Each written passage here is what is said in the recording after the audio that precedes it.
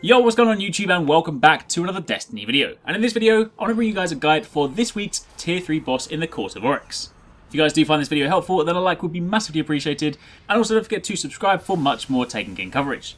Now, in case you guys didn't already know, it seems that the Tier 3 bosses that come from the Antiquated Runes are actually weekly. Last week we had Kagur, who was the wizard that hid behind his massive ogre friend, and this week we have Thalnok, Fanatic of Crota, whom I'm going to dub Mini Crota, because let's be honest, he's basically just a fanboy. Clearly we killed Crota, and he's trying to take his place, so that's pretty much what you've got. And when it comes to tactics, if you guys have done Crota's End Raid and you've actually fought Crota, then you're going to be very familiar with what you want to do. This is effectively a dumbed down, simplified miniature version of the Crota fight. Mini Crota spawns in the middle, outside the portal.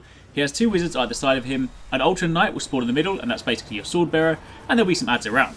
The way you want to deal with this is as follows. You want to first take out the ads on the left and the right, and take out the wizards as soon as possible, so they don't give you too much trouble. After that, you then want to burn down the sword bearer, and then once you kill him, he'll drop a relic. You then want to have someone pick that one up.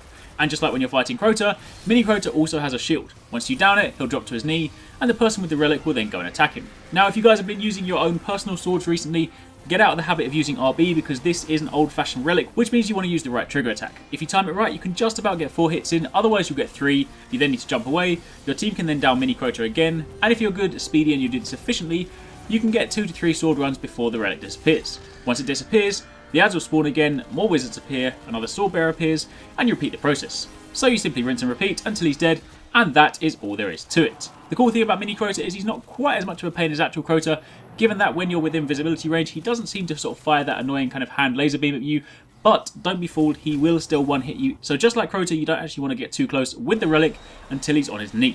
Either way, that is pretty much it. That's all there is to it.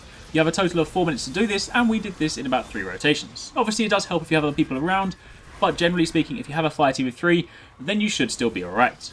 Make sure you deal with the ads first because it makes your life a hell of a lot easier, but aside from that, as I said, if you've defeated Crota, then Mini Crota shouldn't give you too much trouble.